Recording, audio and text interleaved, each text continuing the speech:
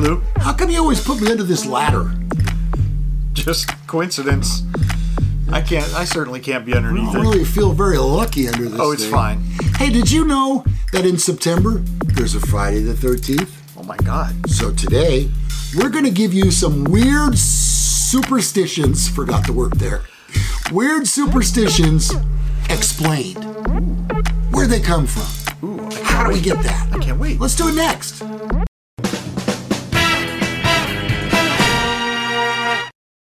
Well, hello and welcome to another episode of Men Are So Freaking Smart. Yep. I'm Lou Gallagher, Corvette Ronnie. and we're glad that you're here today. Thank you for your comments. Thank you for your views. Thank you for your subscriptions to our channel.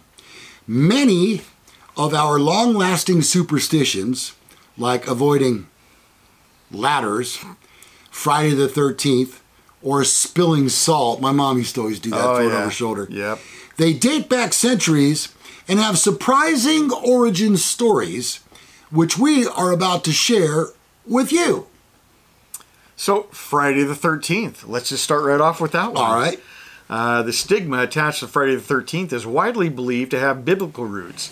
The number 12 is seen in many cultures as the sort of perfect number, and adding one more to that throws things off a bit.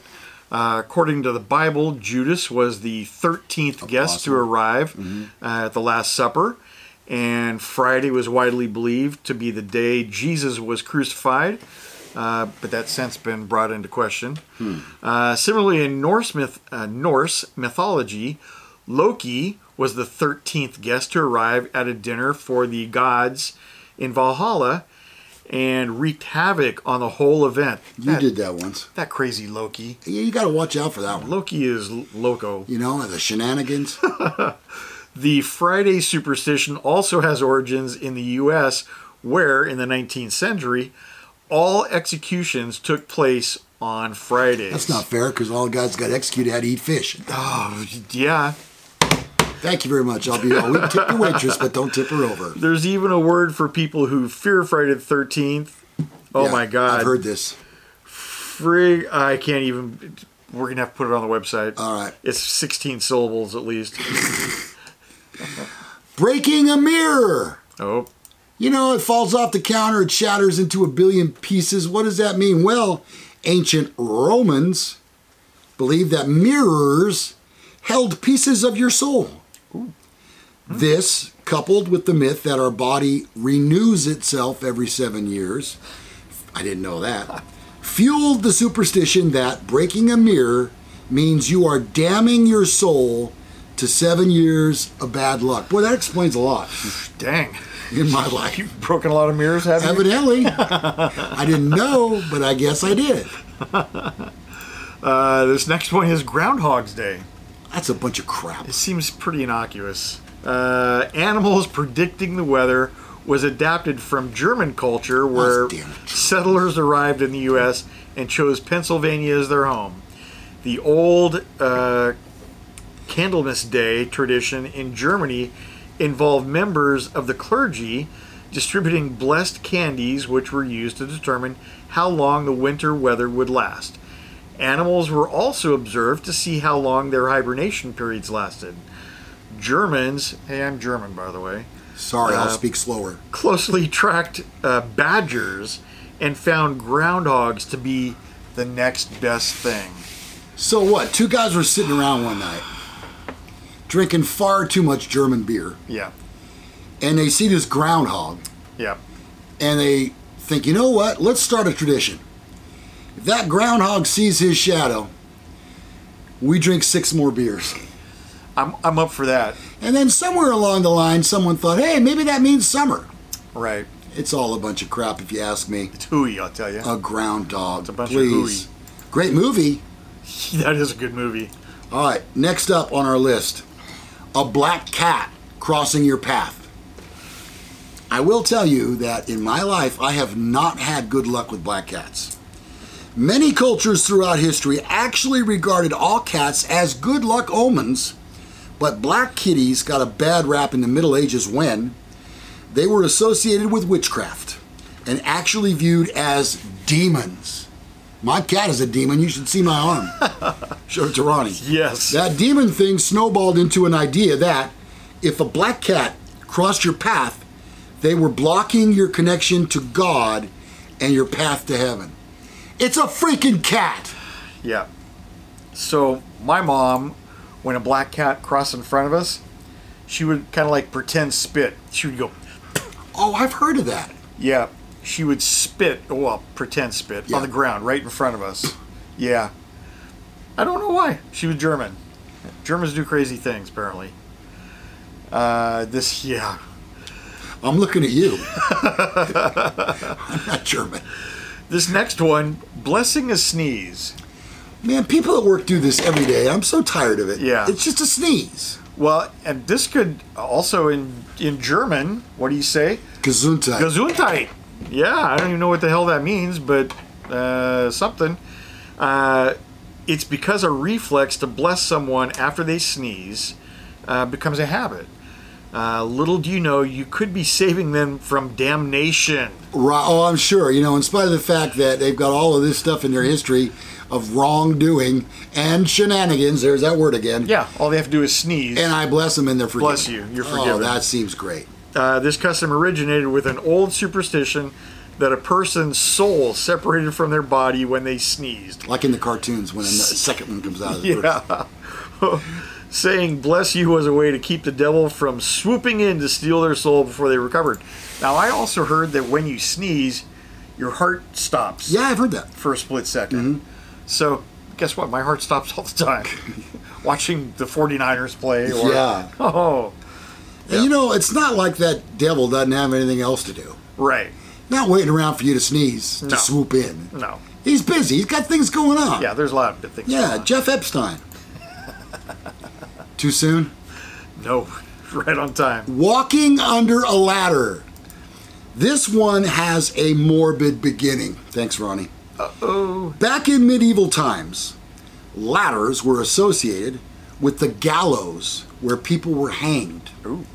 A person who made the mistake of walking under a ladder was believed to be facing their own death by hanging in the near future. Ooh. Wow. There was also the belief that people that because people were hanged from the top of the ladder, the area underneath was haunted. That's where their spirits went. Dang. That Can you move the ladder for next week? Uh, I kind of like it there. There's not a lot of room in this garage. I can tell. I mean, studio. yeah, there's Sorry. there's no room for the ladder anyplace else. Okay, next, knocking on wood. Uh, ancient pagans used to believe that there were spirits living in the trees and knocking on the trunks would summon them for protection. Uh, the gesture was also used to thank them when something good happened. The tradition later took shape in other cultures. Some Christians associated the tradition with uh, the cross, and Jews associated it with knocking on the wooden doors of synagogues while seeking shelter during the Spanish Inquisition. Inquisition. So now it's more of a hey, knock on wood. That's it's kind of a good luck thing, I Yeah. think. Yeah. But you know what? You, you rarely actually have wood to knock on. I don't know. It's formica. Yeah, I. Well, I, my ramps there are wood. That's about the only wood in this. Oh yeah, that's right. Yeah. Those things are heavy. Yeah, they are. Opening umbrellas indoors. Oh, my mom hated that. I know, mine too. You can thank the ancient Egyptians, Egyptians, for this bad omen. They used umbrellas to protect themselves from the sun, but opening them indoors was considered an insult to the sun god. Bob. I think is Bob, the sun god. I think it might be Ra, but I'm not sure. I don't Uh, know. could be. It was equally as offensive to open one in an area that wasn't sunny. Another theory traces it back to the 18th century of England when the mechanics of the modern umbrella made them straight up dangerous when opened in close quarters. You got that point on the end, and Put somebody's eye out. Yeah, you could. Yeah. Yep. And then, and then where are you? Freaking got to wear a patch like a pirate. Arg. Okay. Finding a penny, and this goes beyond that. It's got to be heads up. Yeah. Yeah, you can't Uh-huh. you can't pick up a tails tailspin. Don't. No. Most people wouldn't consider a single cent on the ground to be good fortune, but back in ancient times, it was quite the find. Uh, old civilizations believed that uh, to find any metal on the ground was a gift from the gods. Some people believe holding on to the penny will bring good luck, and others think the good luck comes when you give the penny away. Either way, that's a lot of value to place on one penny. I'll tell you what, I wouldn't bend over for anything less than a dollar bill. Oh, it'd have to be at least quarter for me. I just, I just can't even. I don't, I don't like to bend over that much anyway. Yeah. Got to be a buck. Well, you know, this is kind of weird and, and off the, the subject here a little bit, but um, it's all in what people hear and what they think and it, how they convince themselves of these things. It's, you know, whether your parents brought you up on this kind of an idea, and generationally speaking, it just keeps going down the line. Um, and you know what? Sometimes you make up things just to make you feel good, and I'll tell you what I do and I'm being perfectly honest because that's what we do on this show. We're honest with you. A lot of times when I'm out in the garage, which is almost all the time, I see a butterfly go by, a beautiful butterfly go by, and I think it's my mom. Oh yeah. Just paying a little visit, just letting me know she's there and watching over things and making sure that, you know, everything's okay with the kids and stuff. And because there aren't that many butterflies in my neighborhood that I see. No. Uh, It doesn't hold true for a moth. Right. Okay, uh, Yeah. I had somebody else, my aunt Ellie. Uh, you'd have to know her. Um, but if it's a beautiful butterfly, I like to believe, and I've convinced myself that it's my mom, and it makes me feel better. So what's wrong with it? That's what I'm saying about these things here. Can't can't blame you. All right, uh, next up, spilling salt. That's what my mom did. There are a couple of reasons why spilled salt is supposedly bad luck. The simple explanation is that salt was once used as an expensive trading commodity, so spilling it was just plain wasteful. The other theory is that it was considered a magical substance in ancient times where it was used to perform rituals. Spilling it meant you were inviting the devil in. Oh And you know what? damn. Even if it's his bowling night, he comes in. Yeah. That's the thing about that devil. He's relentless. Relentless like that. All right. This next one, beginner's luck. I'm going to tell you a story I had about beginner's luck. Okay. Okay. After this, this gambling superstition is rooted in a psychological term called confirmation bias. Oh, that sounds like a Fenn thing. Uh, it was actually a flip side show. Yeah. Sean did a little show on it. Uh, it's the theory that if you have some preconceived idea about something, your mind is on the lookout for evidence to back that up. In this case, losing at a game against someone who has never played before sticks out in your mind more than all the other times you won. Now, as soon as I turned 21, my friend Mark Bertolucci took me up to Lake Tahoe and he was actually he was a year older than I was, but we were we were pretty good buds in high school. Uh, so turned 21, we go up to Lake Tahoe. We're at the now defunct and gone High Sierra, Oh, yeah. and I'm playing quarters, and I kept hitting this jackpot that was twenty dollars and eighty cents, I think it was, over and over and over and over again. I would put in two or three, and at that time it was just one quarter at a time. Pull the handle, Right, you win or you don't. you win or you don't. 20 dollars and eighty cents over and over and over and over again.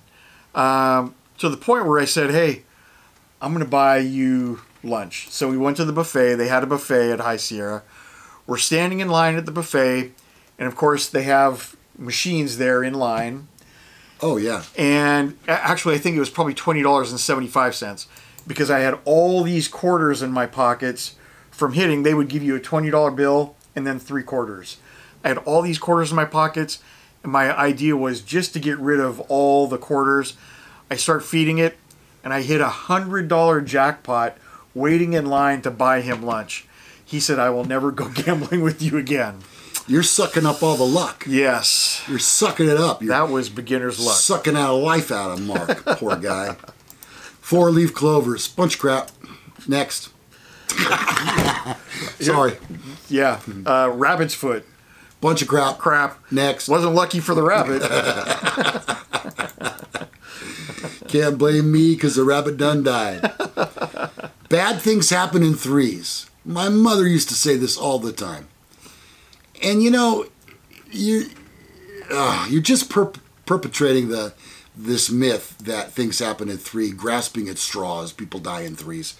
This is another one you could chalk up to confirmation bias. People have a tendency to take notice of the bad stuff to support this theory, but in actuality, there is usually the same balance of good and bad stuff happening to a person at any given time. Just it's a bunch of crap. Okay, now I played a little poker. I've played a lot of poker. Okay, Dead Man's Hand. Oh yeah, aces and eights. Yes, yes. It's considered bad luck in poker to be dealt a two pair hand consisting of black eights and black aces, regardless of the hole card. Uh, the dead man's hand got its name because, according to legend, they were cards held by Wild Bill Hickok Yep. when he was murdered in the Old West in 1876. Wow. Uh, like I said, I played a little poker. I don't. First of all, I don't think I've ever been dealt this hand. Uh, I've never had it, and I played a lot of hands. I have. I, I even played in the World Series of Poker. Did you really? Yes, I did Holy at one of their satellites. Um, Dang.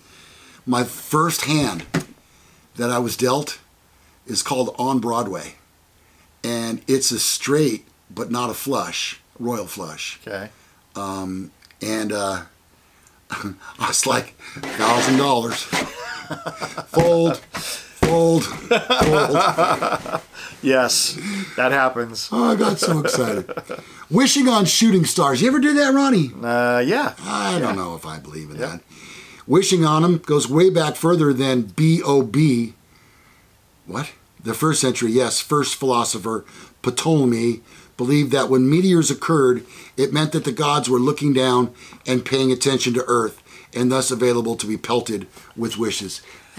There you go. That's crap. Yeah. It's all crap. Seems like crap. Yeah. All right. So I got a buddy that takes me fishing with him, Oh, yeah, yeah, yeah. uh, Al, and he's got a beautiful boat. And I usually try to bring some snacks along.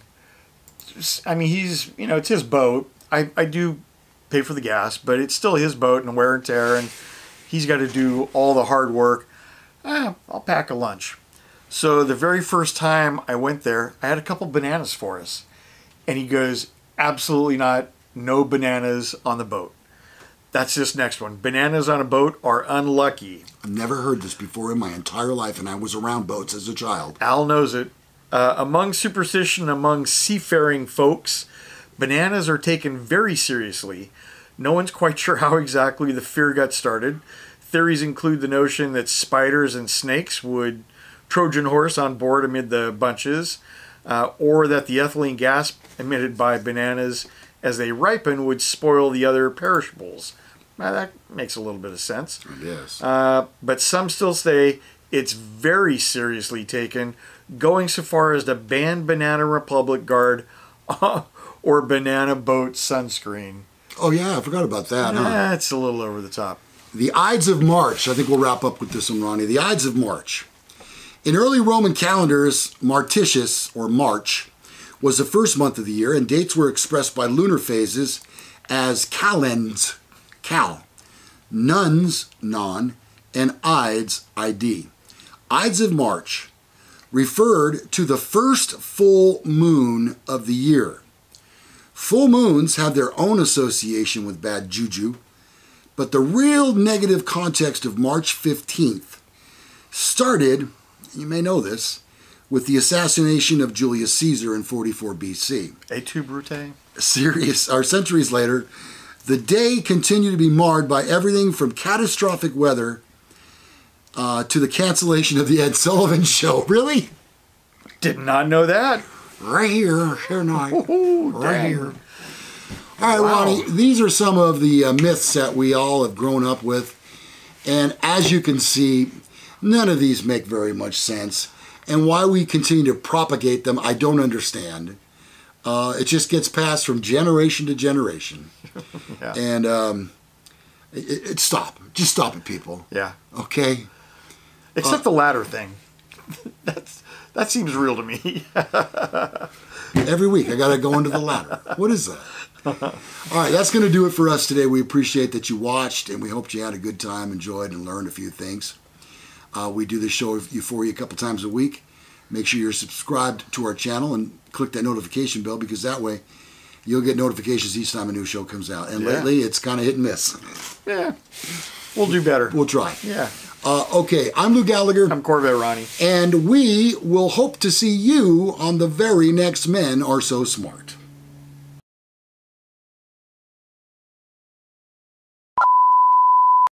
Yesterday, Jeannie, my work wife, went out to check the mail, and she comes back and she goes, "Well, that's a fine. How do you do?" I go, "What?"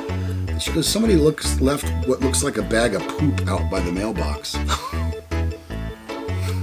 I go, "Are you kidding me?" She goes, "No." And she goes back in her office. About five minutes later, I went back in her office. I go, "Well, I checked. It's not mine."